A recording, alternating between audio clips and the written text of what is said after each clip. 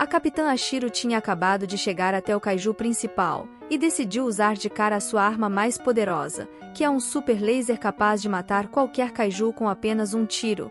Mais diferente das outras vezes, a capitã Ashiro percebeu que algo estava errado e decidiu dar vários tiros no kaiju, que mesmo morto conseguiu chocar milhares de kaijus pequenos. O Honju chegou no ponto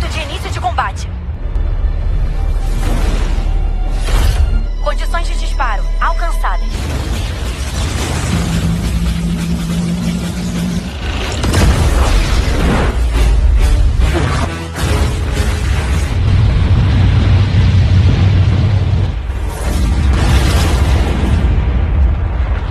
Mas, mas capitã, o Honju já caiu e nós... Dê a ordem. Matamos o Honju, mas os Yoju ainda estão vivos dentro do cadáver.